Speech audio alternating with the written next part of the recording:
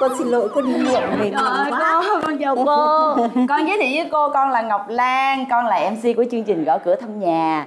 Hồi sáng ờ, con tới đây nhưng mà không có cô Cho nên là con đã được trò chuyện với chú ờ, khá khá câu chuyện rồi. Và bây giờ thì ờ, hình như là chú còn đang làm đồ ăn cho cô á. Hôm nay cô cô cô có việc bận quá cô đang phải vừa mới đi làm giám khảo cho cái giọng hát vàng. Dạ. Ờ, đâm ra là cô biết đến cái là cô cũng, cũng phải vội vội nhưng mà vẫn bị nhỡ. Xin lỗi cháu nhé Cô con thấy là chú còn đang làm đồ ăn. Con muốn cô dắt con đi tham quan cái vườn nhà mình á. Trong thời gian mà chú làm đồ ăn ha cô ha.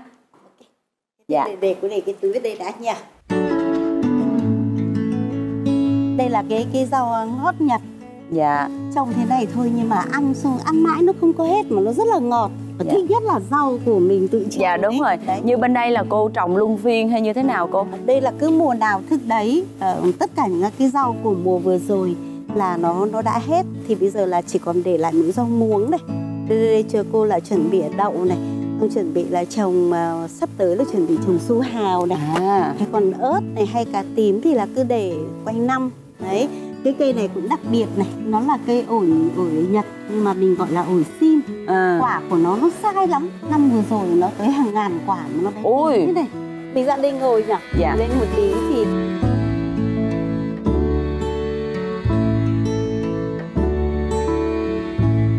Hôm nay chú cháu mình chuẩn bị một món mà cô về cô ăn thế nào khen hết ngay Mà tổng đạo diễn là chú. Cháu chỉ đọc vụ thôi Mà không biết là cái cái cái sở thích của cô cô Hoa ở nhà là là thích ăn thì cô cũng là cái người mà cũng không phải kỹ tính về À. vấn đề ăn đâu chắc có lẽ là cũng tại vì là là là, là tin tưởng ở cái cái tay nghề của Của của chú. của, của chú rồi À. thành thử ra là À Ở đây hả? Đây Cốc cốc cốc Cốc cốc cốc Yeah. à, cháu chào chú Lợi à. Dạ cháu chào chú ạ Chào chú ạ Giới thiệu với ờ, Ngọc Lan à, Đây là chú Tôn Thất Lợi Dạ. Ờ, Là phu quân của nghệ sĩ nhân dân Thanh Hoa Dạ thưa chú, hôm nay tụi con đến đây là với tư cách là đại diện của chương trình Gõ Cửa Thăm Nhà Đến gõ cửa thăm nhà của nghệ sĩ nhân dân Thanh Hoa À. Thì con không biết là cô có ở nhà không hả chú? Ờ, hôm nay thì cô có vì cái lịch này nó nhận được lâu rồi Vâng. thì cô phải đi chấm thi trong một À. cái cái đơn vị người ta thi hát đó mà À. để Dạ. cô ờ, làm ờ, giám khảo nhưng không sao Ừ, chúng ta sẽ chờ và gặp được chú lợi là yên tâm Dạ. quá rồi Chú ơi, con rất là muốn tham quan Ờ, nhà luôn á mời mời mời Cô chú ở đây rồi đi chợ như thế nào ta? ở đây là nó có cái chợ phiên Dạ cứ mỗi một tuần thì nó có 3 buổi phiên Dạ. thì mình ra thì là dân ở đây thì chủ yếu là người ta ta ta, ta trồng trọt trong thừa thì người ta mang chợ phiên người ta bán Dạ. nên là mình ở đây là mình được cái hưởng cái những cái đồ ăn rất là sạch Dạ Đấy. Dạ, ở đây con thấy có một tấm hình của gia đình nè Đẹp không?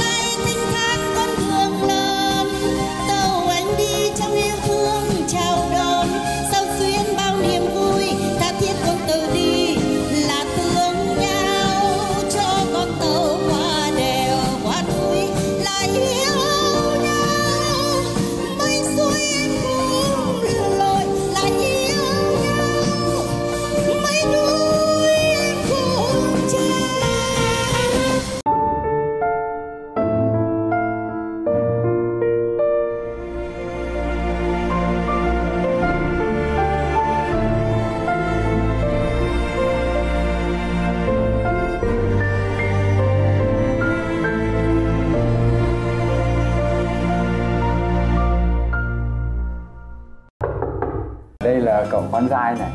Con Sơn đúng không ạ? đấy. À, Sơn con, đấy. con Sơn Sơn đấy. Cạnh đấy là con dâu. À, đây là con gái.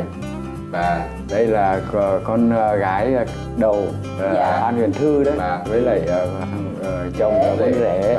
Cái đây là cháu ngoại con của Lữ. Và còn đây là con của Thư. Và đây là con của Sơn. À cháu nội. À, cháu nội đấy. Đây mọi người ơi mọi người hãy xem người yêu của cô thanh hoa đây.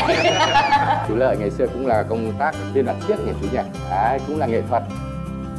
Con và anh khuê rất là vui và cảm thấy rất là vinh hạnh khi mà được ờ, tham quan nhà của chú nè rồi gõ cửa thăm gia đình của chú nè hồi nãy khi mà con ở ngoài cổng á con có để ý con thấy là để là tôn gia trang 2013 thì con không biết là nhà mình dời về đây vào năm 2013 hay là cái gia trang này mình được tu sửa lại từ năm 2013 à? mình về đây là từ hà- 2013 mình xây dựng cái này.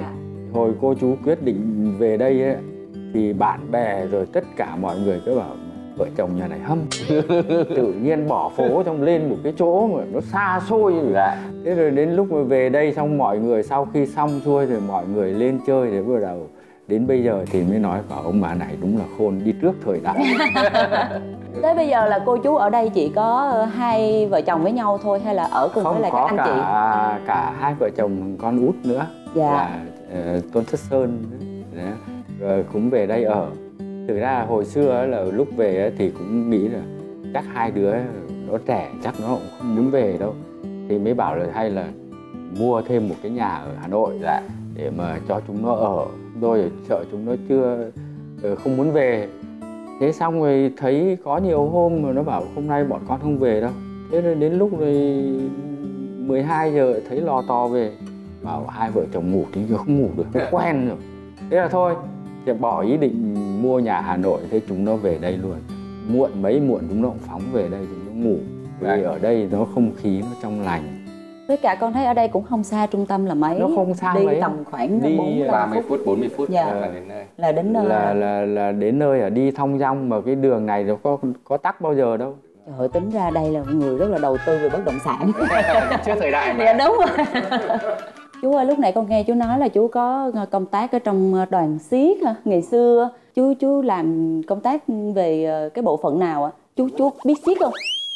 chú là là là là ở bên bộ phận hài À, mà cháu cái nguyên tắc của hài ở bên siếc ấy, thì anh phải học tất cả các môn có nghĩa là ví dụ như những cái diễn viên khác ấy thì là người ta chỉ có học qua cái thời gian mà mà mà mà gọi là là là cơ bản đầu tiên ấy thì bắt đầu người ta phân thì anh chuyên về cái bộ môn gì thì anh chỉ chuyên thôi nhưng mà riêng cái bên hài siếc thì nó lại bắt anh phải biết tất cả các cái bộ môn ở trong siếc à. Đấy. ví dụ nhé muốn một tiết mục hài là vừa lấy tự được tiếng cười của khán giả nhé nhưng mà đồng thời là phải biết tất cả ví dụ như bộ môn môn ờ, tung hứng này nhé là cũng biết làm nhé thăng bằng cũng biết làm nhé lực sĩ cũng biết làm nhé rồi mọi Nhưng mà phải biểu cảm cái gương mặt để thu hút mọi người. Chứ sao nữa? Trời ơi, như vậy là rõ ràng là Rất một là- nghệ sĩ siết như vậy là kỹ năng và Tổng hợp. dạ, tổng hợp và khó hơn là người diễn viên như tụi hơn. con. nó khó. Cho nên là phải bài khóa mới ra được một cái bộ ờ, hề. Nó ra được những cái cặp hề. Mà hồi ấy nói thật ra là chú cũng không nghĩ rằng là là chú lại đi về hài đâu bởi vì mọi người cứ bảo là thằng này trông nó hiền lành nó có tí gì là hài đâu. Thế mà sau rồi chỉ có vì có một cái hôm mà trong cái cái cái buổi tập đấy thì là cái diễn viên hài để bị bị ốm. Đúng rồi. Nghỉ. Thì ông bảo mình vào làm thử làm thay cho nó một buổi để ông ấy coi như dạy nốt cái cái cái cái, cái phần của cái tiết mục ấy. Thì mình vào mình làm thử thì ông ấy sướng quá thế là thôi ông ấy bỏ luôn thằng kia rồi ông ấy lấy mình dạ Cái đó Thế nhiều là- khi bây giờ lại gọi là thời tới đỡ không kịp á chú. chú ơi có phải là vì ngày xưa mình có quá nhiều cái kỹ năng và cái tài năng như vậy thì chinh phục được cô gái Thanh Hoa hay không ạ? chú cũng được cái may mắn là không những có tài năng mà còn về cái phần đẹp dai là hơi bị kinh đấy? hồi trẻ là chú là kinh lắm đấy Dạ. ảnh ảnh của chú và bây giờ nhìn chú cũng đã là đã đã thấy điều đó rồi Ngày đúng không? Chú ơi tới bây giờ mình không có cô ở đây là mình nói xấu cô đi chú. Ngày xưa chú cua cô có khó không? Ngày xưa thì như ờ, cô vẫn thường hay nói là "Mẹ, ông này ông ấy cưa mình có mỗi một miếng dứa có 500 nhỏ. Thế ạ? Vì là hồi đấy là chú với cô là hay là đi diễn cùng nhau. Dạ. Ngày xưa là còn có cái phong trào là là tập kỹ đấy. Trong một cái chương trình là có cả ca sĩ rồi có cả múa rồi có cả hài rồi có cả siếc. Đại khái là đi tập kỹ đi diễn. Thì là đi diễn cùng với nhau. Cái ấn tượng đối với với đối với cô đầu tiên ấy, thì thấy là cô ấy, con người bé. Hồi cô bé nhỏ lắm. Rồi đi đâu cũng thấy đưa hai cái đứa con của cô đi. Chú thì hồi đấy đang trai trẻ chưa hề có vướng một tí gì về với bụi trần cả. À, thế rất là là trong sáng rồi nhá. Đấy nhiều lần là cô cũng nói với mọi người là ui rồi ngày xưa lúc mà lên ô tô mà gặp ông này lần đầu tiên bảo là không nghĩ là Việt Nam sao lại có thằng cha nó đẹp trai thế. Thế là ấn, ấn tượng đầu tiên. Đấy thế rồi cô chú đến với nhau rất là tự nhiên. Thế là trong một cái buổi diễn thì chú đang đứng ăn dứa thì cô đi qua thế là chú mời miếng sứa có 500 nhỏ. Thế là từ đấy là bắt đầu hai người cứ hay ờ, đi nói chuyện. Thì hồi đấy là cô là đã, ly dị đã ra tòa rồi. Cô là chồng trước ấy, thì đã ra tòa rồi. Thì chú, hồi đấy thì cũng chỉ quen đi diễn thế thôi, chứ cũng chưa có, không có cái ý định rằng là mình phải, mình yêu đương gì đâu. Chú, nhưng mà sau cái cái lần mà mời cô ăn dứa như vậy á rồi thì ờ, diễn biến nó như thế nào? từ cái miếng dứa đấy thì bắt đầu hai người mới thường xuyên gọi là ăn cơm cũng ngồi cùng này. Cứ thế rồi dần dần cái cái quan hệ nó nó nó nó thân thiết hơn.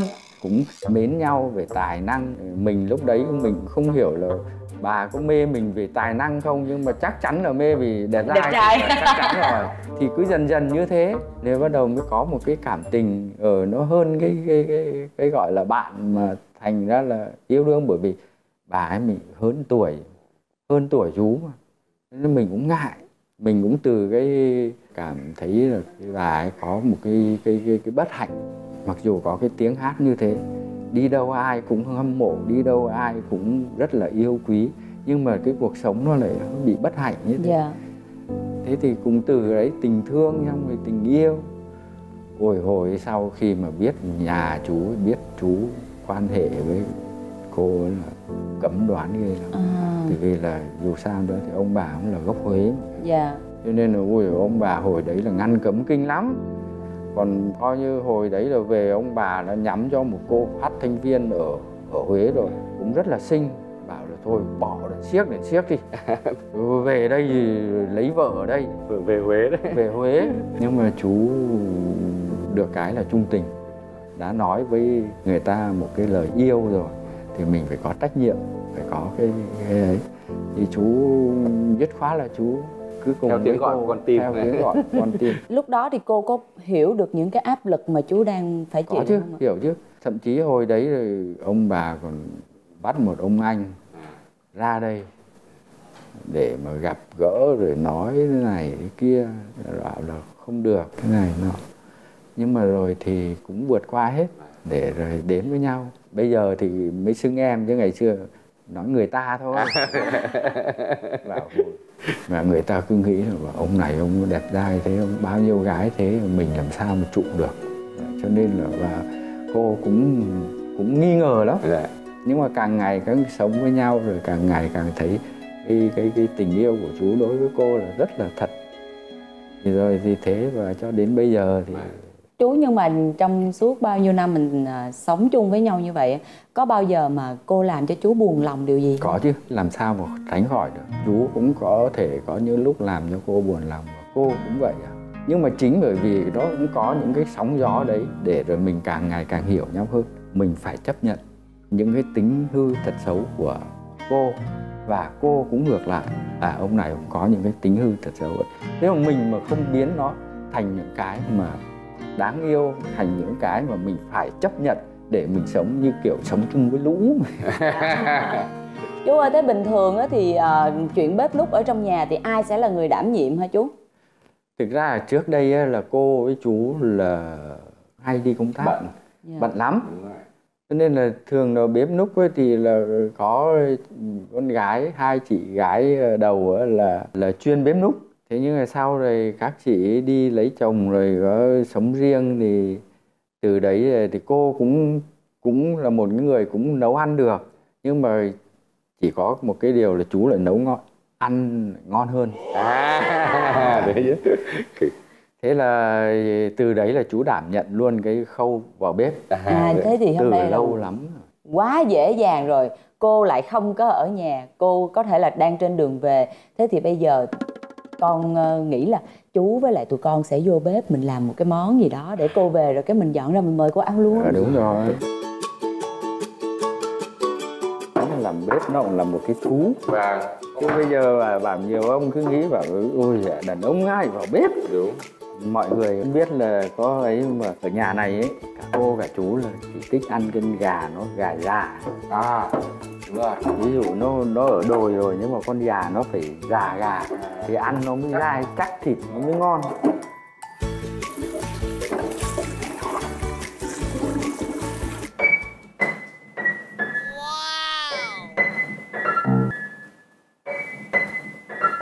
Ủa cô?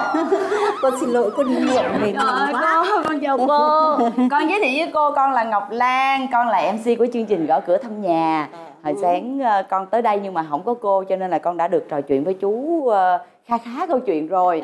Và bây giờ thì ờ, hình như là chú còn đang làm đồ ăn cho cô á. Hôm nay cô cô cô có việc bận quá cô đang phải vừa mới đi làm giám khảo cho cái giọng hát vàng. Dạ. Ờ, đâm ra là cô biết đến cái là cô cũng, cũng phải vội vội nhưng mà vẫn bị nhỡ. Xin lỗi cháu nhé Cô con thấy là chú còn đang làm đồ ăn. Con muốn cô dắt con đi tham quan cái vườn nhà mình á. Trong thời gian mà chú làm đồ ăn ha cô ha Dạ. Để, để cô để cái túi đây đã nha. Đây là cái cái rau ngót nhật. Dạ. Trồng thế này thôi nhưng mà ăn xong ăn mãi nó không có hết mà nó rất là ngọt. Và Dạ. thích nhất là rau của mình tự trồng Dạ đúng ấy. rồi. Đấy. Như bên đây là cô trồng luân phiên hay như thế nào cô? Đây là cứ mùa nào thức đấy ờ, tất cả những cái rau của mùa vừa rồi là nó nó đã hết. Thì bây giờ là chỉ còn để lại những rau muống này. Đây, đây, đây chờ cô là chuẩn bị đậu này con chuẩn bị là trồng ờ, sắp tới là chuẩn bị trồng su hào này. À. Hay còn ớt này hay cà tím thì là cứ để quanh năm. Đấy cái cây này cũng đặc biệt này. Nó là cây ổi ổi nhật nhưng mà mình gọi là ổi sim. À. quả của nó nó sai lắm. Năm vừa rồi nó tới hàng ngàn quả mà nó bé tí thế này. Mình ra đây ngồi nhỉ? Dạ. lên một tí thì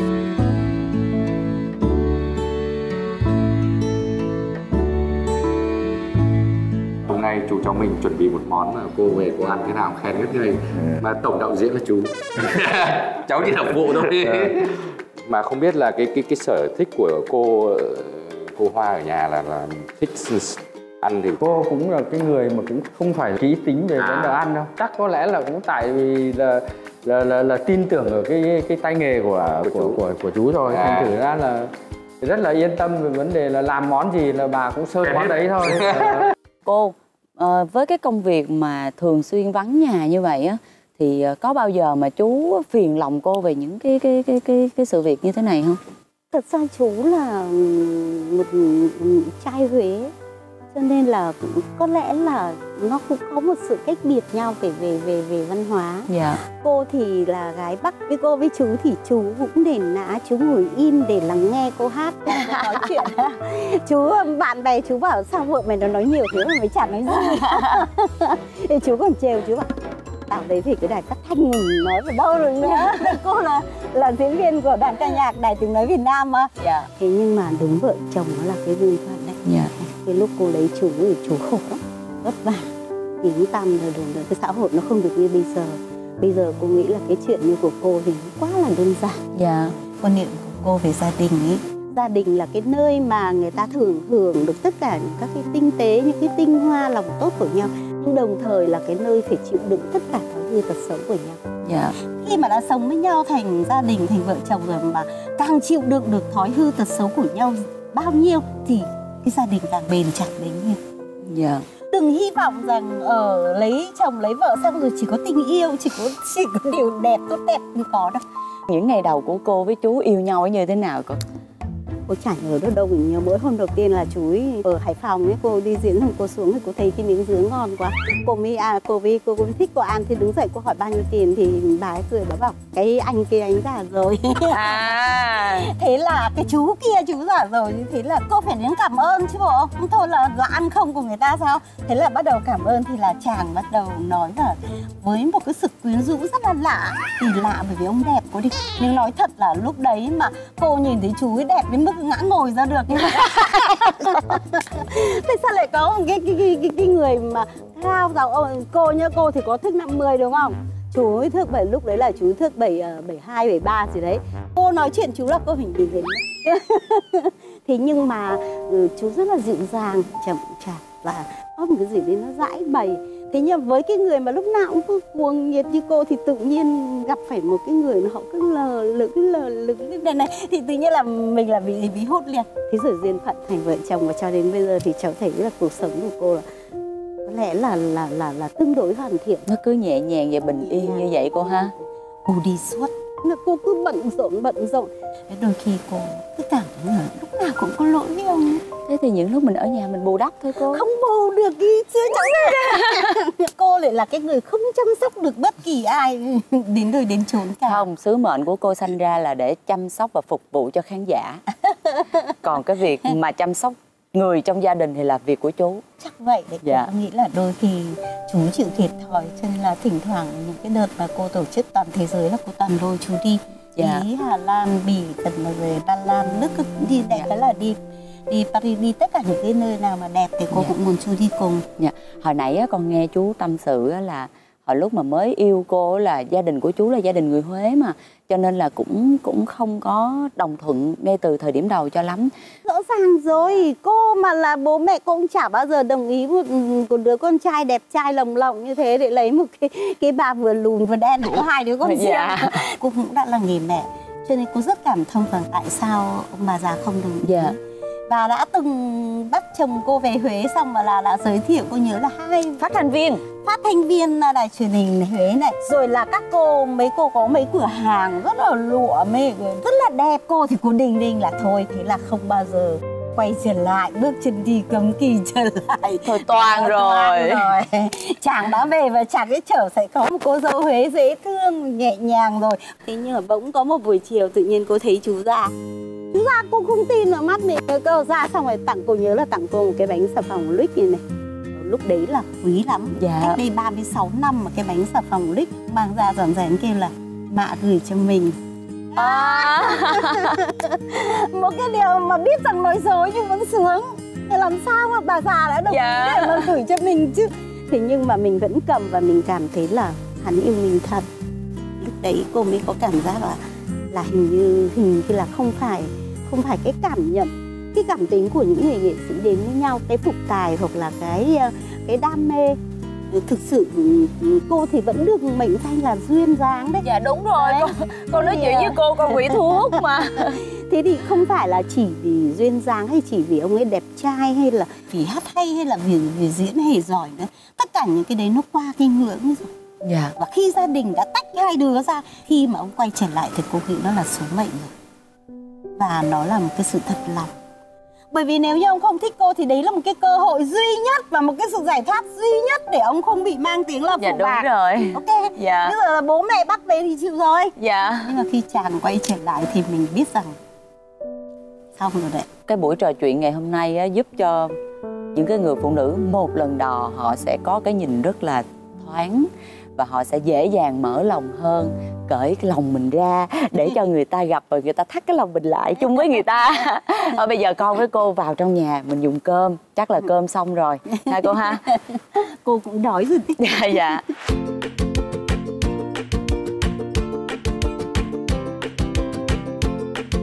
Bữa ăn ngày hôm nay là không phải chỉ một mình chú ờ, nấu cho cô đâu mà còn có bàn tay của anh khuê nữa đó phụ bếp rất nhiệt tình chú thì ngày nào cô cũng phải cảm ơn rồi chắc là phải cảm ơn cả đời dạ. vì là cô thường xuyên được chú nấu nhưng hôm nay rất là vui và có lẽ cũng là lâu lắm lâu lắm rồi mà cháu là một trong những uh, diễn viên mà cô cực kỳ mê dạ. rất là thích cái cách diễn của cháu mà hôm nay lại được ngồi ăn dạ. nhất là cháu đến từ thành phố Hồ Chí Minh dạ thế à, cô giới thiệu đây là con dạ. trai cô là ca sĩ Tô Thất Thái Sơn cùng đoàn với cả anh Khuê nhưng dạ. mà là nhà hát tuổi trẻ đây là cháu nội cô, sinh viên năm thứ nhất nhạc viện à, Hà Nội.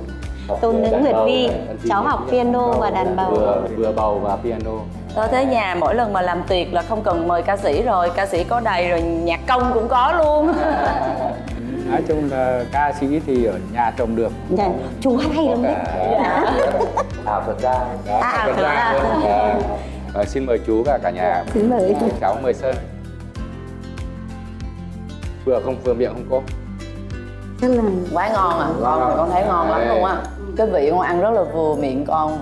Cảm giác giống như là chú có thể nấu được cho cả hai miền nam bắc luôn á. À thế à. Đấy bởi vì chú ở miền trung mà. Đúng rồi. Chú gốc miền trung rồi cho nên là phải chiều vị của cả nam và bắc. Đấy.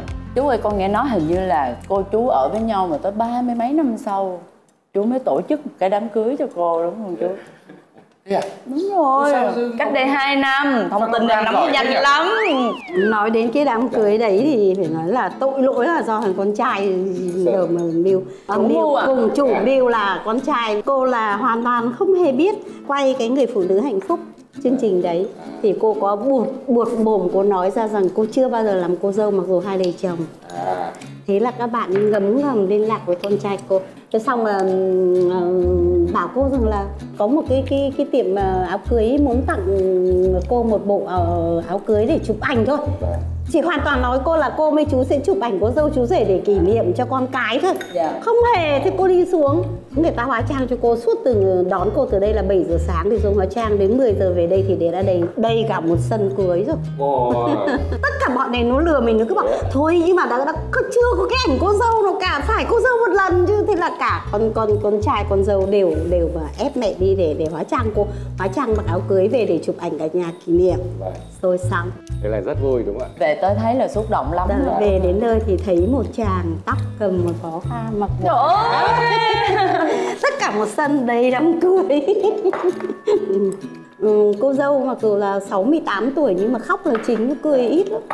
Bởi vì cái điều bất ngờ họ làm cho mình bất ngờ vậy rõ ràng là quá viên mãn rồi. Thì ít nhất cũng một lần làm cô dâu. À, con thấy là chú cứ tưởng tỉm cười thôi. Khi nãy không có cô ở nhà là cô nói chú nói nhiều lắm. Chú kể quá trời kể luôn mà bây giờ cô về là coi như là chú chỉ tủm tỉm cười thôi. Số chú lấy đúng phải cái đài phát thanh. Cô chú sống với nhau là ba mươi mấy năm rồi ạ. Từ à, 83 37 năm. Vậy thì cô chú có cảm thấy là hiện tại bây giờ là mình quá hài lòng với cuộc sống của mình hay là nó còn một cái điều gì trăn trở nữa hay không ạ? Ví dụ như gia đình của chú ngày xưa là cũng không có được ừ, vui cho lắm về cái cuộc hôn nhân này. Và bây giờ thì mình đã giải tỏa được hết cho gia đình hai bên chưa ạ? Hình như là cô có một cái trong cô có một cái điện gì kỳ lạ ấy không những là lấy lòng chồng mà bố mẹ chồng rất nhanh bị thu hút. Một vài năm sau nhất là khi có có cháu dạ. khi có sơn thì là ông bà chị quý ngay vì là cái hồi đấy là ông bà già chú là ở Huế thỉnh thoảng là viết thư về thôi. Hôm đó rồi có những, ờ, những cái mùa hè thì được nghỉ thì về. Thì chú cũng nói luôn là thôi bây giờ là mọi chuyện nó đã thế rồi bọn con đã thành vợ thành chồng đã ở với nhau rồi. Thì thôi ba mẹ cũng nên là chấp nhận với bọn con. Để rồi thì ờ, con quyết định như thế thì sướng khổ gì là con phải chịu.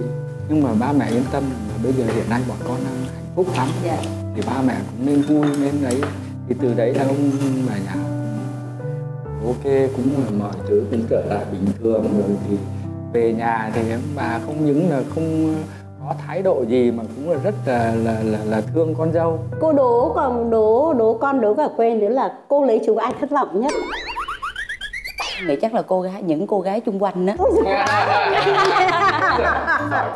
hỏi quá nhiều nhau không cái quan trọng là tất cả mọi người từ già đến trẻ và nhất là các bạn mà mà có tí chú thích ý, chú thích tôn thất lợi ý. thì cá với nhau rằng cuộc tình này không tồn tại rồi được quá 2 năm. Dạ mình phải càng hạnh phúc thì người ta sẽ không còn soi mói gì về cuộc sống của mình nữa. Đấy là lúc bấy giờ thì cô còn để ý đến xung quanh Thú thật với mọi người rằng ít nhất là khoảng 15 năm nay cô không bao giờ để ý xem ai nói cái gì ở xung quanh cô nữa Dạ. mà cô chỉ lo rằng con cô nó như thế nào để cháu cô như thế nào, nó thích cái gì hay chồng cô thích cái gì. Và làm sao mà vẫn có một cái mơ ước là đến một lúc nào đấy tất cả họ, hàng anh em ruột thịt rồi dâu rể cùng nhau đi du lịch một vài nước nổi tiếng thế giới. Chỉ thế thôi, còn không liên quan, không có nghĩ ngợi gì. Đó là mong mỏi của cô ở thời điểm này. Thế còn chú, mong mỏi của chú ở thời điểm này là gì chú? Bây giờ là chú mãn nguyện lắm rồi. Cháu không còn mong mỏi gì nữa cả. Con rất là cảm ơn cô chú rất là nhiều. Ngày hôm nay đã đồng ý nhận lời mời tham gia chương trình gõ cửa thăm nhà. Cô um, phải cảm ơn vì là rất là xa cái chương trình đến thăm nhà mà từ từ thành phố Hồ Chí Minh ra đây đến với gia đình nhà cô. Cô thấy là rất là vui hạnh phúc. Và còn một cái điều nữa là cô nói thú thật hôm nay thật ra là cô còn muốn nói nhiều nhưng mà tay này. nhưng mà cô học khuê khuê có nhớ cái nhân vật của khuê mà Nói ít thôi. Rất là vui. Và bởi vì là huy là người cô rất là quý quý thật lòng đối với cháu thì lần đầu tiên cô gặp và cô ngạc nhiên là cái sự thông minh dí dỏm của cháu. Anh ơi nhá rất là giỏi nhá cứ hỏi xong cứ cứ moi moi chuyện. Con hỏi là để con học kinh nghiệm. Cô ơi thật sự ra con có một yêu cầu nhỏ nhỏ nữa con không biết là cô có đáp ứng được cho con với lại quý vị khán giả hay không. Đó là con rất là muốn nghe cô hát. Tại vì đâu có dễ gì có cơ hội mà được nghe cô hát trực tiếp như thế này đâu. Ừ, đi phải cho bà gan đô thử. À rồi À. nhạc cơm nhạc cơm cháu nội sẽ đàn nha mọi người ơi.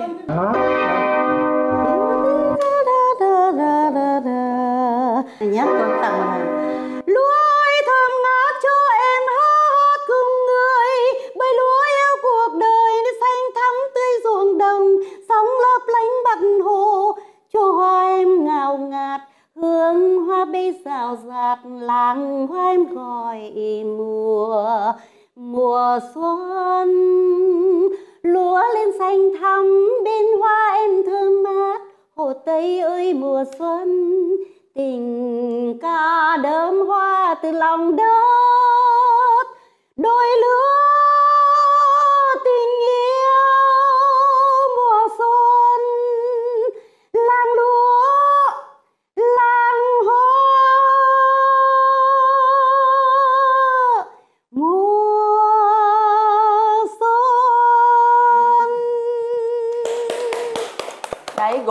luôn.